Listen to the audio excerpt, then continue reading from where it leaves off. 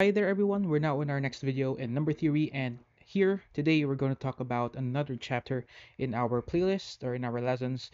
Now we're going to start with the concept of the theory of congruences. And to start off, we're going to begin with our first and most foremost topic which is the basic properties of congruences. So we're going to go back uh, a little bit in history hopefully you you watched the first video about um, concerning Gauss okay? Our princeps mathematicorum our prince of mathematicians Gauss. So in the first chapter of his famous book and most um, magnificent book Disquisitiones Arithmeticae Gauss introduces the concept of congruence. And the notation that makes it such a very powerful technique. He explains that he induced or he was induced to adopt the symbol, this one, the triple parallel lines, um, because of the close analogy of it with the algebraic equality or simply as the equal sign. Okay, so we can remember the equal sign. I know that we are aware of it. The equal signs are only composed of two parallel lines, while the um, symbol for congruence is composed of three parallel lines. Okay, here. Okay, so let us define this um, informal definition. But before that, um, according to Gauss, okay, he said that if a number n measures the difference between two numbers, a and b, okay, then a and b are said to be congruent with respect to the modulo n. Okay, we call that modulo n. If not, we call that we call a and b to be incong incongruent. So let's put this in a formal um, way, shall we? So let's put this in a formal mathematical definition.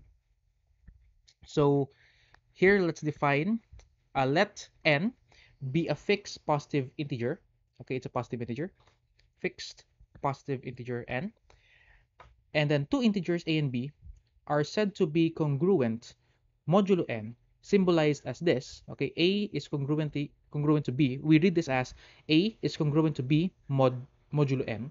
Okay, again, a is congruent to b modulo n if n divides a and b or divides a minus b rather okay? Divides n divides the difference of a minus b. That is a minus b is equal to n times this some integer k because n is said to be a factor of of a minus b. N is what we call the modulus of the congruence relation or simply the modulo okay? It's like the clock in the clock arithmetic um it's the one that that that um, gets the remainder and then um, and then um, gives you the value of a. Anyways, I'm going to illustrate that to further um, to clearly explain that one. Anyways, just put in mind that a is going to be modulo n if n divides the difference of a minus b or um, conversely if n divides a and b so therefore we can say therefore that a is going to be mod, mod n so to cite some examples shall we say um, anyways, the n again is what we call the modulus of the congruence, okay? So as for example, so let's have let's cite some examples here. So consider your modulo n to be equal to 7, for example. Let's have n equals 7. So it is routine to check that 3 is congruent to 24 modulo 7. Why is that so? Okay, let's recall the definition going up here. We say that a is congruent to b modulo n if n divides a minus b. So let's let's apply that here. Anyways, let's show the, the definition first. Okay, if n divides the difference of a minus b, therefore um, a is congruent to b mod n. So let's apply it here. Okay. Okay. Uh, why is this so? Why is 3 is congruent to 24 mod 7? Because uh, shall we put it here? Because. Okay, anyways, this is the symbol for because. Um, remember, this is the symbol for therefore. Um, it's a it's a triangle, triangular dot. Um, if you reverse a triangle, so you'll have the the symbol for because. So 3 is congruent to 24 mod 7 because um, 3 minus 24. So what is 3 minus 24? So 3 minus 24 we know of as negative 21, right? That's that's understood to say that 3 minus 24 is negative 21 and we know negative 21 as a multiple of 7 okay specifically that is negative 3 it is negative 3 okay times 7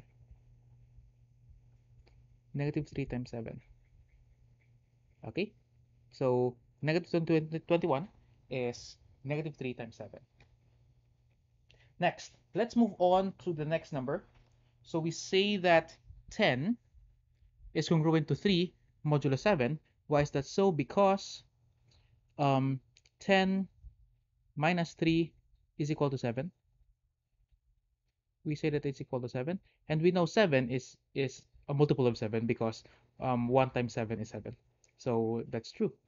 Therefore that's true it's it's correct though okay how about this? 20 um is congruent to 6 modulo 7 because let's try it again. 20 minus 6 is equal to 14 it's equal to 14 and 14 we know of as 2 times 7 2 times 7 so therefore um 20 is indeed congruent to 6 with the with respect to the modulo which is 7 okay next up we have negative 31 is congruent to 11 mod 7 why is that? Let's let's let's check.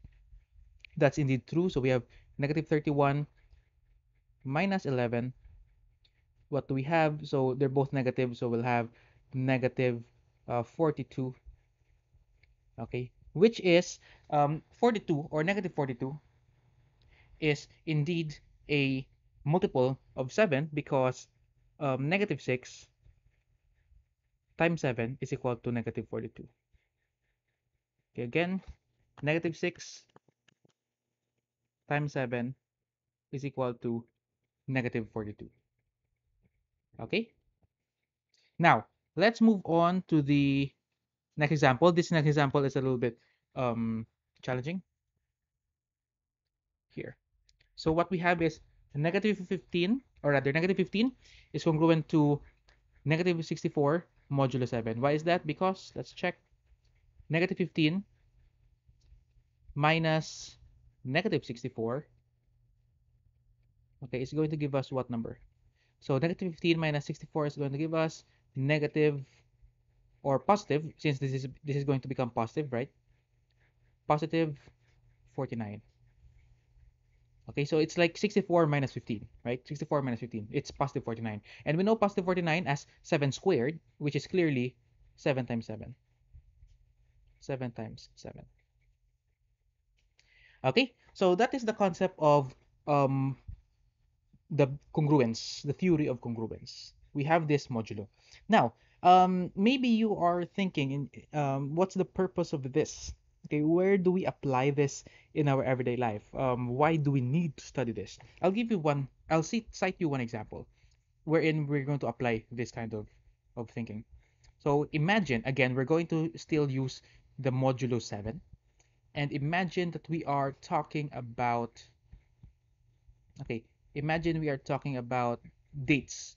Try to look at your calendars for example um, this is mod 7 when you say mod 7 when we say um, 1 2 3 4 5 6 7 okay after we have 8 we say that 8 okay is congruent to 1 mod 7 why is that so? So you can try you, you can you can try to verify because 8 minus 1 is equal to 7 which is 1 times 7 indeed they are equal they're congruent shall we say.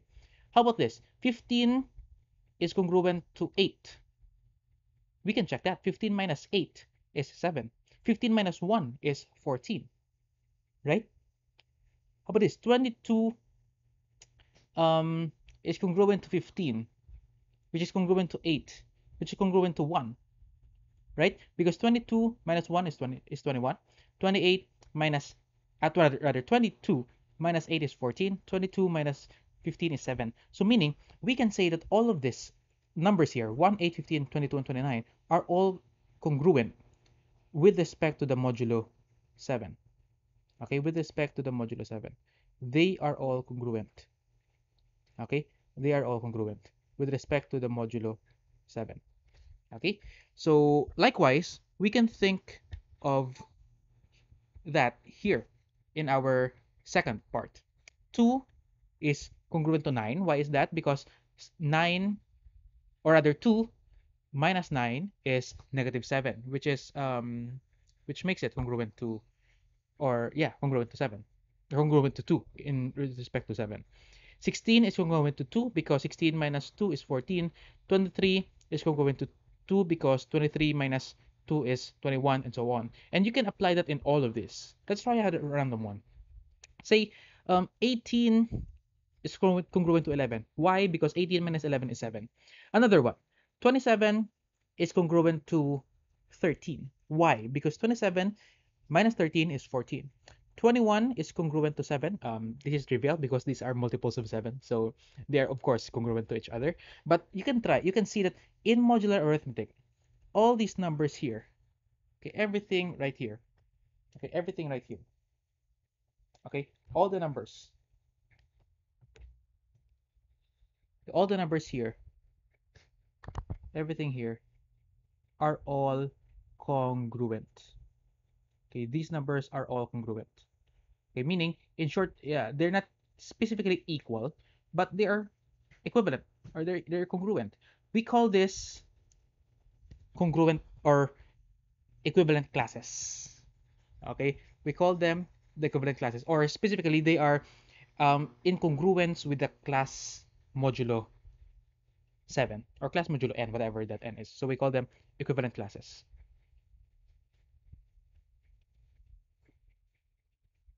equivalent classes. So they are classes of numbers in which they are congruent with respect to this n. Okay, so how do we apply this um, in in in our real life? Try to imagine. Let's say all the ones here are Mondays. Okay, all the twos are Tuesdays. All the congruent with three are Wednesdays. I'll just use W. All the congruent with four is Thursdays. I'll use TH. All congruent with 5 is or are Fridays, F, I'll use F. All congruent with 6 is Saturday. And all that is congruent with 7 is Sundays. Now, if you're going to look at your calendar and try to look at the number in which they are equivalent, okay, they are equivalent in in res with respect to the modulo 7. 17 and 10. Okay, 17 and 10 on your calendars are on the same day. Why? Because they are congruent with the number of days in a week, which is mod 7. Meaning they are both, in our case here, 17 and 10 are both Wednesdays. 26 and 19 are both Fridays. Okay? If you're, if you're going to look at your calendars, yes, they are indeed the same. Okay? Um, 19 and 12 are congruent. Um, 26 and 19 are congruent. 28 and 21 are congruent. In short, as far as mod 7 is concerned, as far as the number of days are concerned, we go back, going to Sunday, we go back to Monday. Okay, 1, 2, 3, 4, 5, 6, 7, go back to Monday.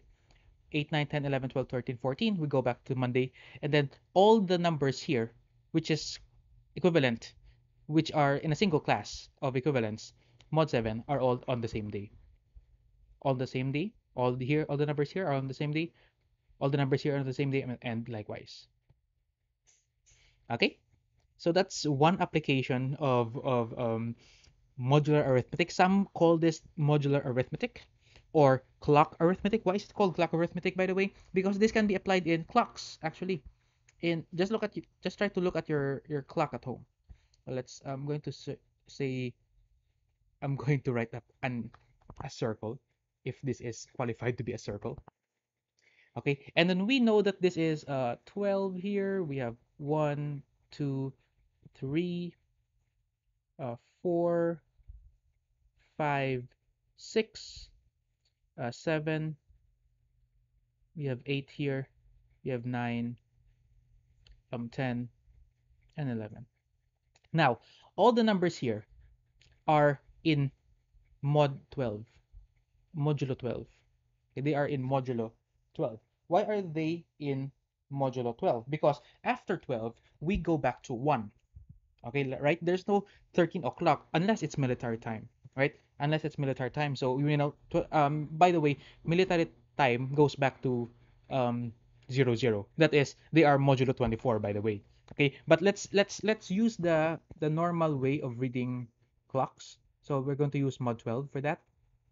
Okay, so we know that after 12 there's 13. Where is 13? 13 is over here. So when it's 13 o'clock in military time, we know that it's 1 o'clock. Okay, 14 is here, 15 is here, 16, 17, 18, 19, 20, 21, 22, 23, 24. And then after that, we go back to 25. 25 will be on the 13th. Okay? 25 will be on the 13th. So continuing in this manner, let's have 24 here. 25 will be here. And then I think you can imagine so on. You can imagine this. Okay, likewise, we can go back in reverse. 0 is over here because we're going to go back here. Negative 1 is here. Negative 2 is here. Negative 3. Negative 4 and so on. So we can say that in mod 12, um, we can say that um, let's try to have some uh, let's try to think this this equivalence class this one try to imagine this equivalence class and let's verify if they are indeed true by the by the statement of our definition. This one. Okay let's encircle this. That's quite difficult to encircle this one. Okay so this one. So we say that 20 is equivalent to negative 4 for example. So 20 is equivalent or rather is congruent to negative 4 mod 12 negative 4 mod 12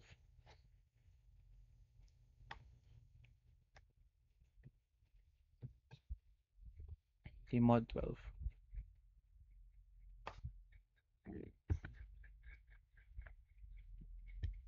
okay so in a while. Mod 12. Okay, why is that? So let's check the definition. So 20 minus um, negative 4. So what is 20 minus negative 4? That's going to give us um, uh, 20 minus minus 4 is going to give us positive 4. So 20 plus 4 is going to give us 24. So 24 is equal to, so we say that 24 is equal to um, 2 times 12. So indeed, um, by our by our definition of the congruence relation, so 20 is indeed congruent to negative 4. And we can see that all these equivalence classes are indeed equivalent and equal, or they, or shall we say in our terms, they're congruent. Okay, so we say that um, 3 is congruent to 15, um, 11 is congruent to 23, 23 is congruent to negative 1, 24 is congruent to 0, uh, 0 is congruent to 12, 13 is congruent to 1, and so on. Um, as long as we are here in the universe of mod 12. So that's it for this video. Thank you very much for watching. I hope that you would like um, this video and subscribe to my channel. And yeah, I, hope, I think I'll see you soon. Okay, thank you very much.